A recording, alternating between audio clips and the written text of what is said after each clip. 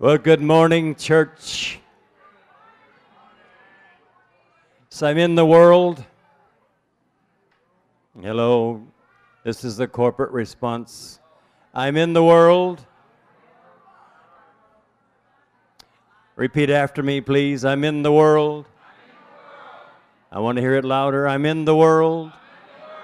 Because if I wasn't, I wouldn't be here.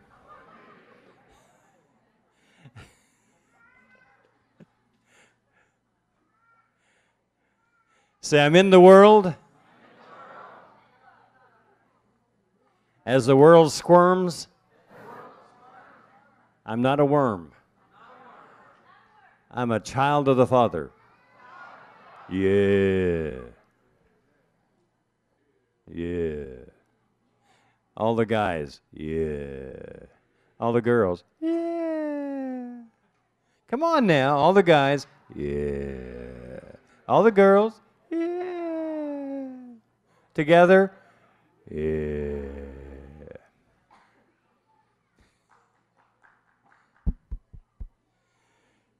Ah, for everybody that wants to be formal today, this is the wrong day to come to church. See, the joy of the Lord is somebody else's strength. What? Whose? Are you alive? And act like it. Are you saved? Then act like it. If you're not saved, you should be. Get with the program. One of the very endearing things of the Lord Jesus is in his time with his disciples and those that were hanging out with him, he took time to get things in order. And everybody was following him because of the stuff he could do. He could do the stuff. And they loved seeing stuff happen.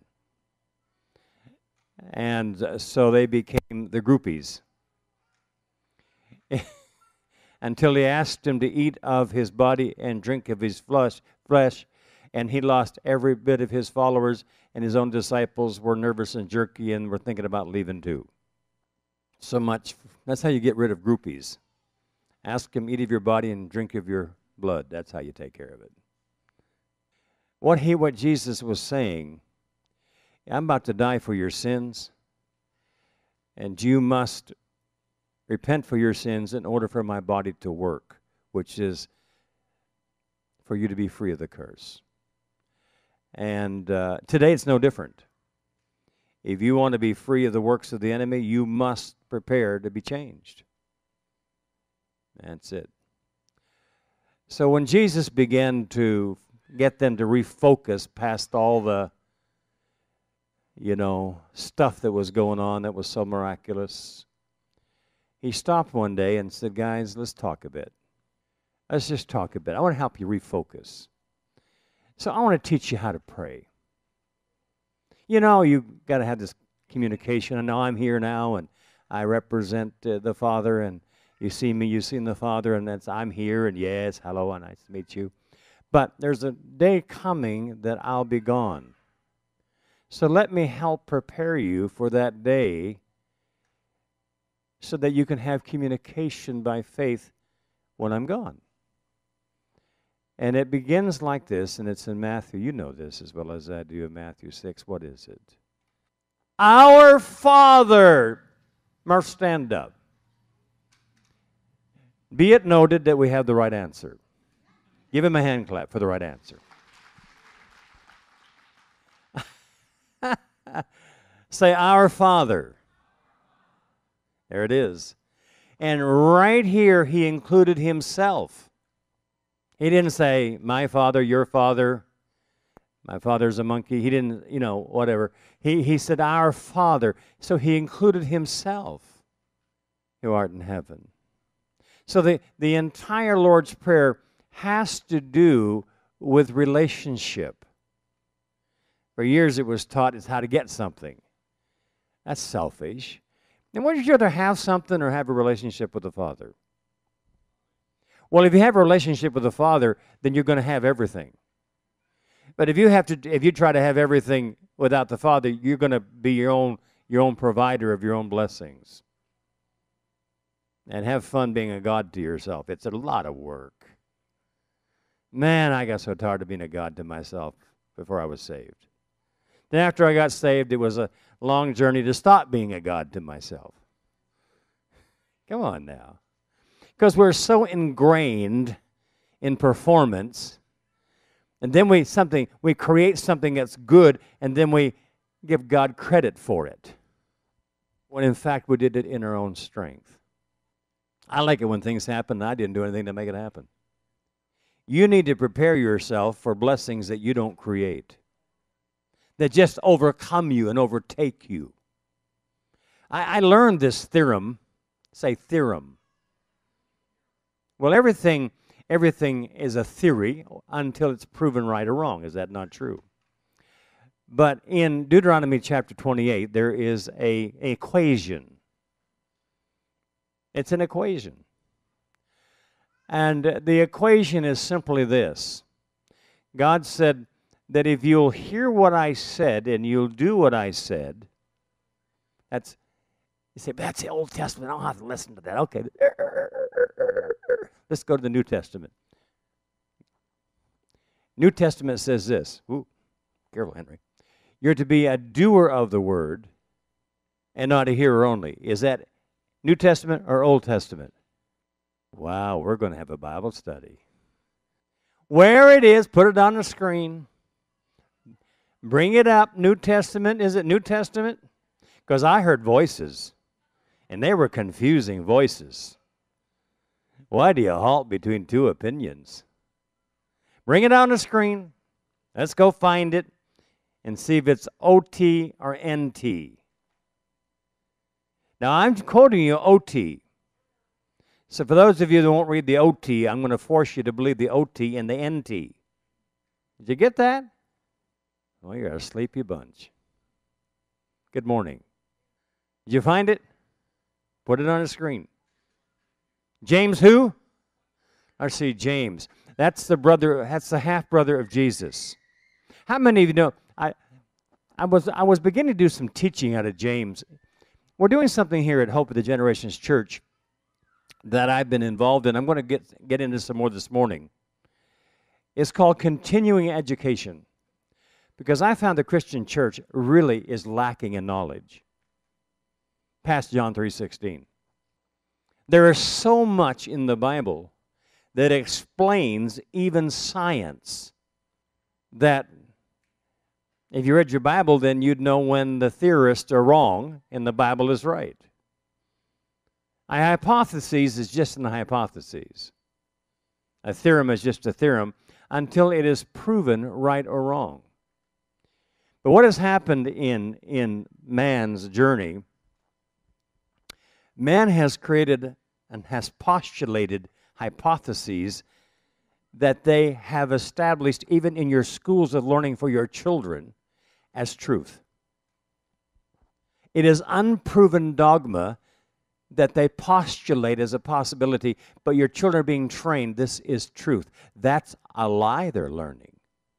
I'm going to deal with one of those lies today. And if you have youth here in Hope of Generations Church, we're going to take you on a journey because I have something with me. I'm going to go back here in a minute. I have something with me that I printed out from the news. I'm your roving reporter today. That is startling. I'll get to it in a minute. Because this is going to take us on a Bible study and called, well, if I called it a Bible study, people take time out and snooze. If I call it continuing education, they want to know, they're curious. You know, I have learned over the years the easiest way to teach is to ask a question. Because if you just bring the fact, people zone. But a question being asked activates the cerebral cortex because people are curious and it awakens them to try to find the answer. Otherwise, they sleep through the answer. So if I'm going to give you the answer, I want to awaken you to hear the answer so you don't sleep to the answer. Are you tracking with me? Because you're so used to hearing. Listen, The world is filled with people that are burnt out with knowledge, but they don't have the right kind. So I want to deal with some of these things. Uh, and in doing so, I may step on some sacred cows today. What is a sacred cow? A belief system that is superstition. Now, what do you do with a sacred cow? Either,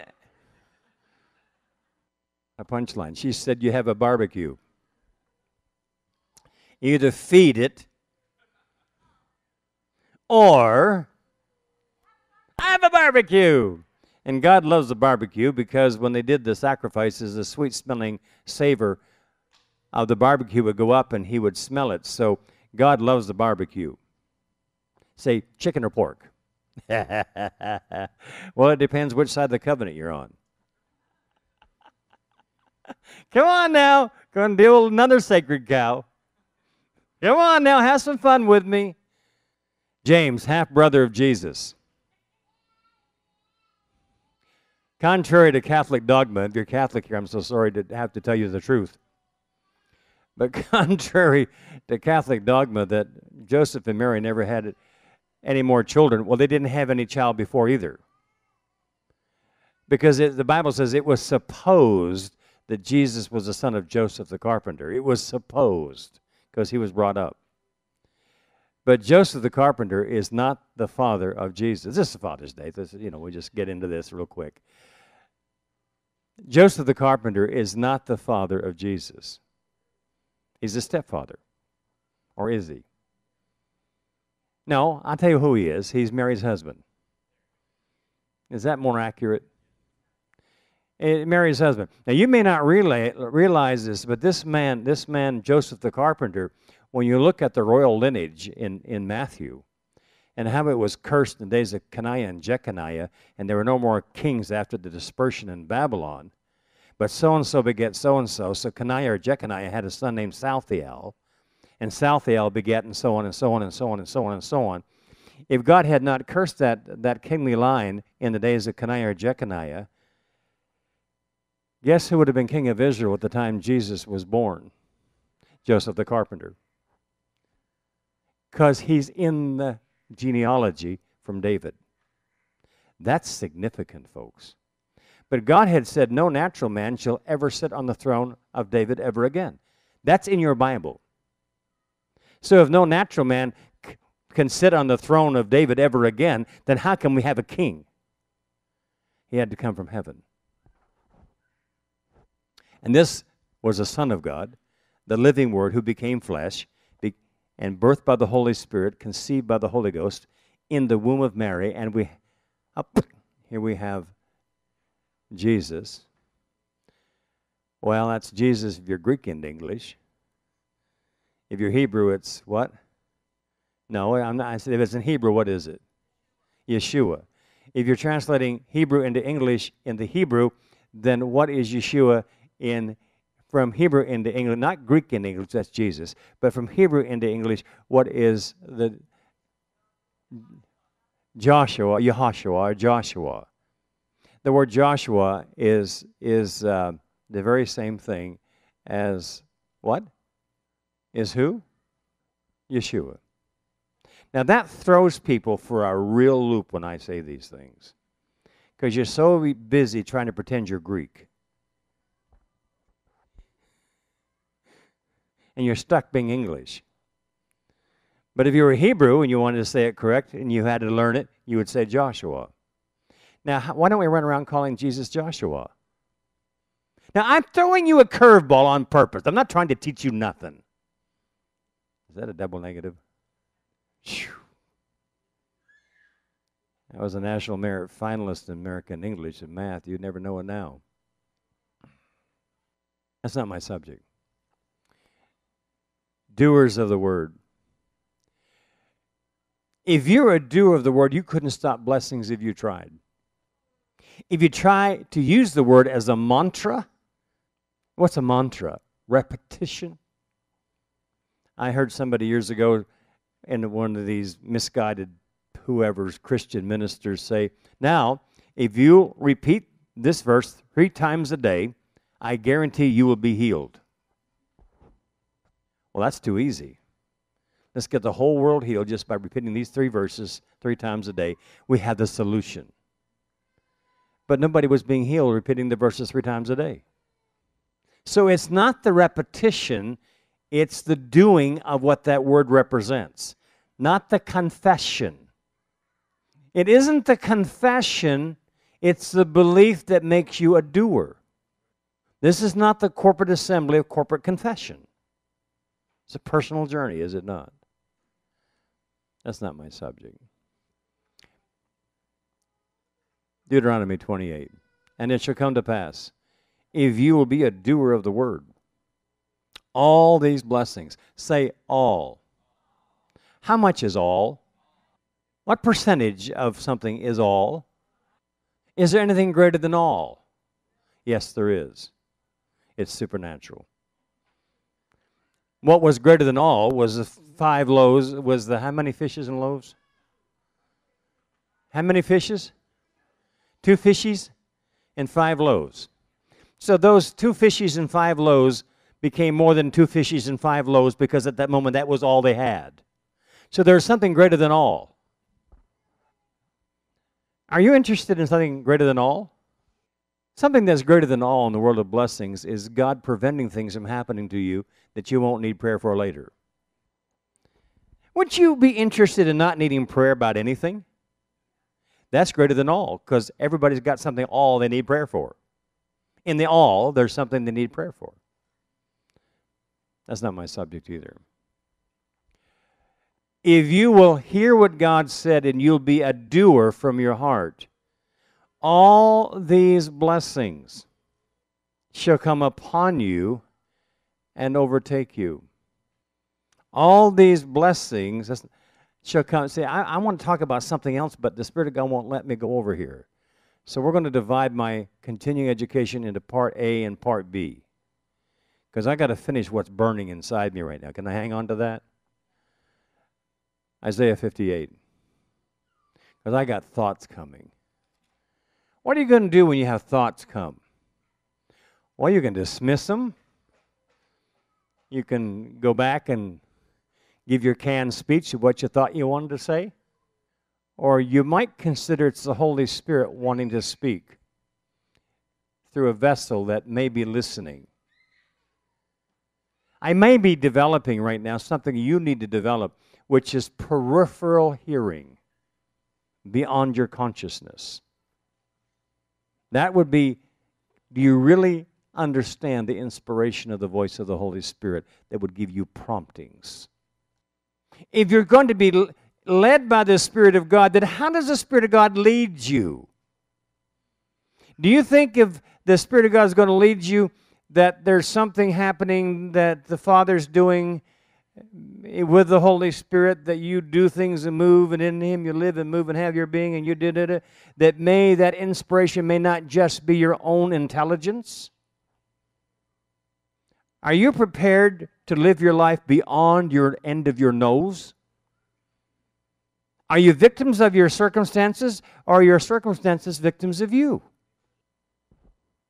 One thing I learned if all my life is the problems, that in Him I have a chance to defeat the all problem business. That's not my subject. All these blessings shall come upon you and do what? Oh, do what? Um, Pastor John and Murph, I want you to come do a skit. It does involve running.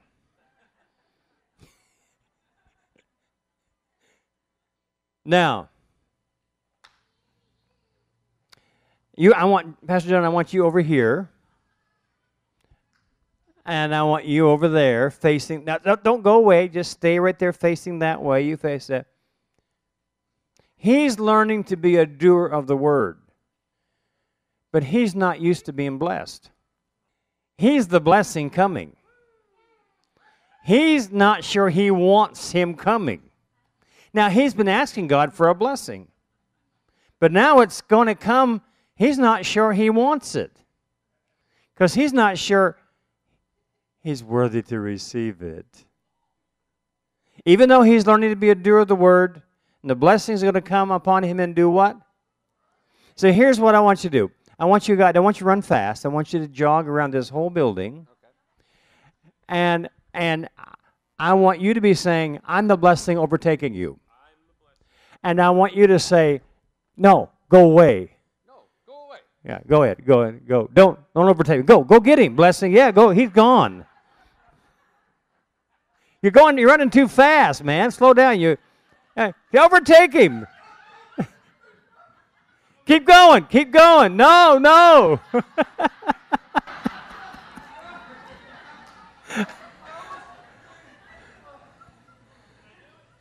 I don't want to do it again. I, am not sure what happened. Let's go. I like that part in the back. Why don't you save it for the front? And, and, and don't run so hard because, you know, I know it's cardiovascular work. So just, I said jog. I didn't say do a sprint. I thought I was supposed to get away from him. Well, that's true. All right. Are you up to it? One more time. Go get him, Blessing. My head start. Blessing, you're slow.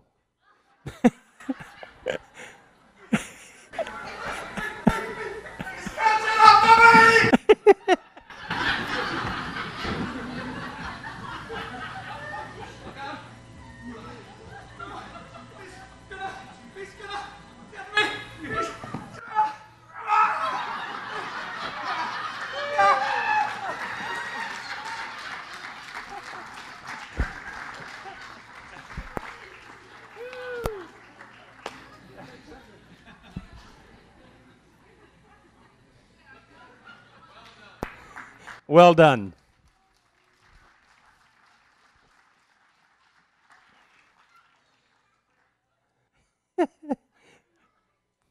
Continuing education. Yes, absolutely. You need to see the skit again? Jim Faulkner, Scott Harper, Pastor Scott.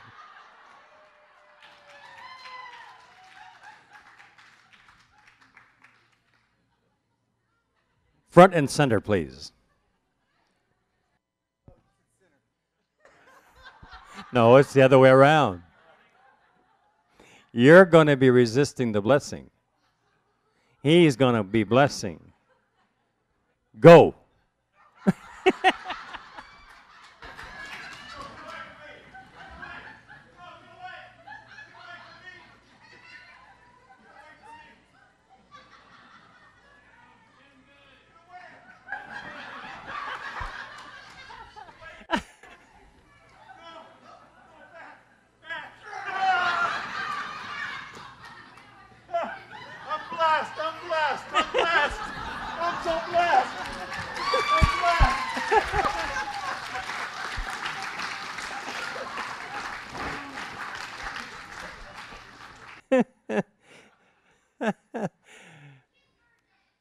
The blessing shall come upon you. What is the condition for the blessing coming upon you and overtaking you? To what? Franz from the Netherlands. Come forward, sir. he's a good, he's a, he's a jolly good fellow. Let me see who I can get to um, pursue you. Um, No, no, it's going to have to be. Let me see. I'm going. I have a. I have a. I have a. I have a. Jeff, come forward, sir.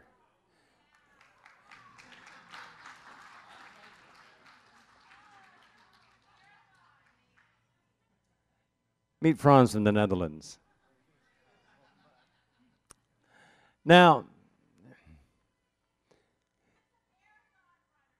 Jess, a marathon runner?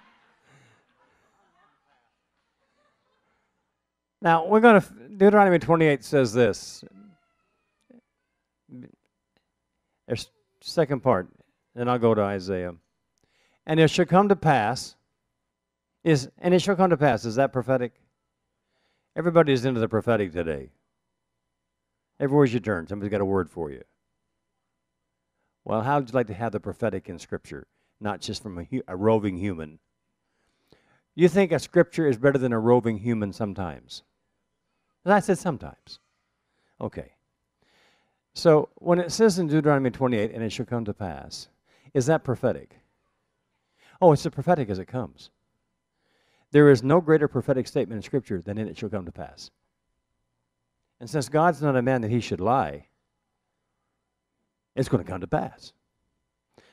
So the skid on blessings will come to pass. It will. The other part will come to pass too. Now, you're going to be the villain. You're going to be the devil. And you're going to be the Christian that doesn't want to be a doer of the word. And he's he's going to be he's going to be it's going to be a problem to you because you guys are going to be running going to be walking. And he's going to keep you from your blessings. And at one point before you get to those chairs, he's going to take you down to the floor. Before you get very far. And then what I want you to do is cry out to God for deliverance. Say, God, deliver me from this horrible creature that won't, that's bringing the curse on me. Because what it says in Deuteronomy, and it shall come to pass. Is that prophetic? Yeah, as prophetic as it comes. That if you hear God's word but you won't do it, then all these curses shall come upon you and you're going to be the curse. No, you're not the curse, it's a skit. Yeah, I know. Don't take it so personal. Okay. And I want you to I want you to cry out to God right here. Get this off my back, Lord. I'm tired of this curse. And while you have him down, I'm going to send a prophet to you with the word of God. And so who's going to be the prophet? John Lapp, come be a prophet. Come on, you can do this. Welcome, John Lapp from Pennsylvania, our Amish brother. You're going to be the prophet. And I'm going to tell you what to say. When he, the curse, has him down right here, and he's crying out for help, I want you to walk over to him while he has him down. Now, don't hurt each other. It's not a wrestling competition. And I want you to say, I have a secret for you how to defeat this curse. Be a doer of the word. And then you're going to say, I'm going to be a doer of the word in Jesus' name. And you're going to pop right off his back. Then I want you to do it six times around the circle up, down, up, down. Six times. One there, two, three, four, five, and one more time here. So you're going to have six places to stop. You're going to take them down. One right here, one over there, three, four, five, and the last one here again. And you're going to be the prophet. And are you're going to tell him when he's down, Sir, I have a secret for you. Be a doer of the word. And then the blessings will come. Quick. Okay. Okay, Jeff. Start getting a walk. Now, don't fight each other. Don't fight each other. No, no, yield. You're not. Don't fight each other. Just go down. He's.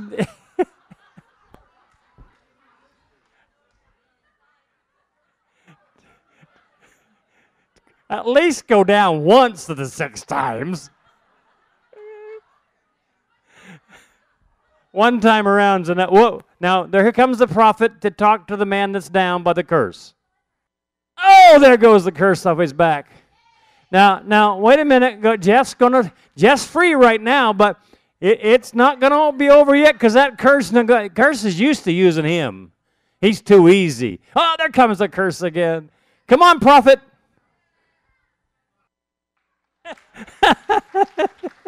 oh, good job, Jeff. Oh, there comes that curse again. Man, is this ever going to end? Where are the blessings? Man, this is too hard. I, I don't want to be an overcomer. I just want to be dead with the curse. Wow. See how easy that? There he goes again. There he goes, faithful Christian. Here comes faithful Christian. The curse is back on the move. Ah.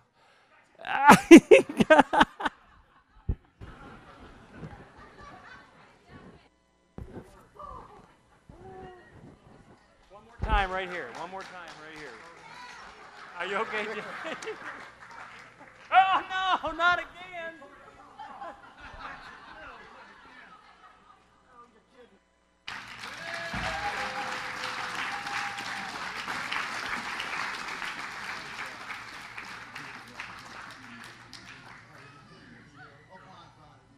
Didn't they do a good job?